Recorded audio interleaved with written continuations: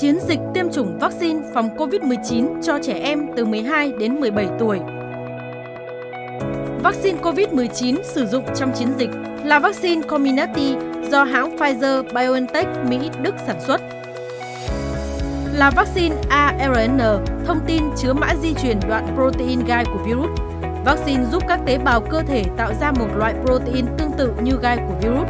Sau đó, protein này sẽ kích hoạt phản ứng miễn dịch của cơ thể tạo kháng thể chống lại virus SARS-CoV-2 gây bệnh COVID-19.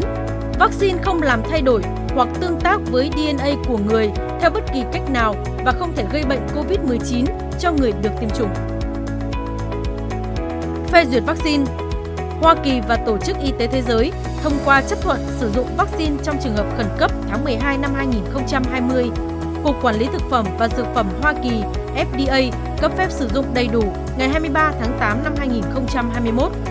Tại Việt Nam, vaccine Comirnaty của Pfizer-BioNTech được Bộ Y tế phê duyệt có điều kiện vaccine cho nhu cầu cấp bách trong phòng chống dịch bệnh COVID-19 tại quyết định số 2908 QDBIT ngày 12 tháng 6 năm 2021 và quyết định 4035 QDBIT ngày 21 tháng 8 năm 2021.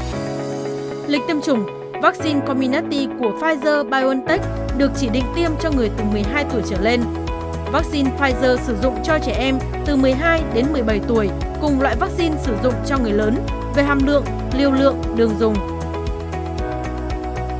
Liều lượng đường tiêm, tiêm bắp liều 0,3ml, lịch tiêm gồm 2 mũi, cách nhau từ 3 đến 4 tuần, 21 đến 28 ngày. Trẻ được tiêm đủ 2 liều của cùng loại vaccine.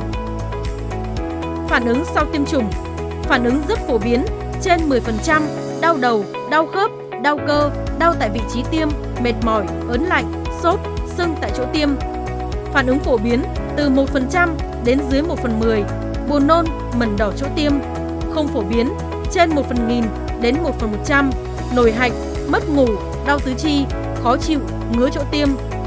Hiếm gặp, trên 1 phần 10 nghìn đến dưới 1 phần nghìn, liệt mặt ngoại biên cấp tính, viêm cơ tim và viêm màng ngoài tim là biến chứng hiếm gặp được ghi nhận ở một số quốc gia.